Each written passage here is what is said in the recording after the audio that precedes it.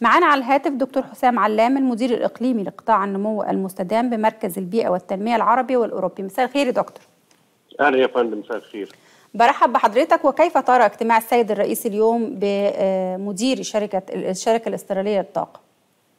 هو طبعا ال- الاجتماع ده يعني هو مش أول اجتماع طبعا يعني فخامه الرئيس يقوم بيه في قصة الطاقة الخضراء وطبعا هو واضح جدا إن الدولة المصرية بقى لها فترة مدية اهتمام الطاقه الخضراء لأن هو ده الحقيقة ده المستقبل.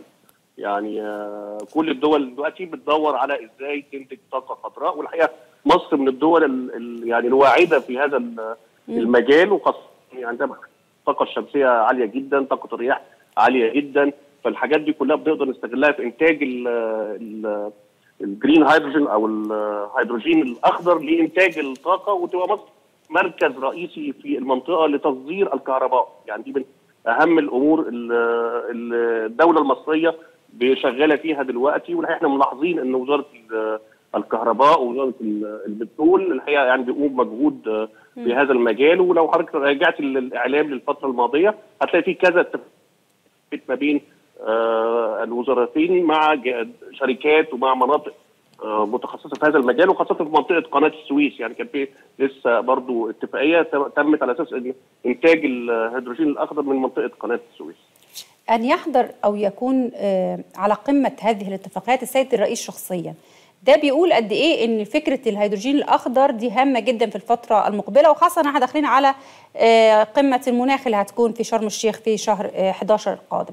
آه، دي مقدمات جيدة مصرية بتؤكد وضع مصر فين يا فندم في هذه المنطقة من الطاقة الخضراء والطاقة النظيفة؟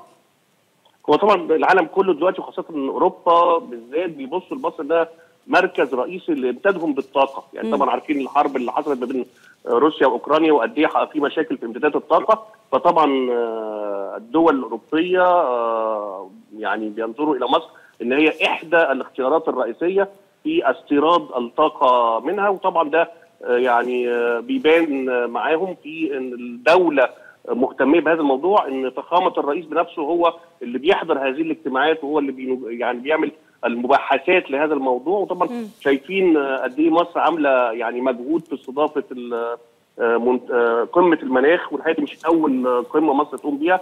ده سلسلة من القمم في مجالات ال- البيئة. كان لسه من من سنتين ثلاثة كان في قمة ال biodiversity برضو اللي هي يعني على مستوى العالم أكبر قمة في هذا المجال مجال الأحياء ال- اللي على الكوكب يعني. فالحقيقة ده توجه بيبين قد إيه مصر committed أو يعني مصر عندها توجه إن هذا يكون صناعة رئيسية في آه، جمهورية جمهورية مصر العربية.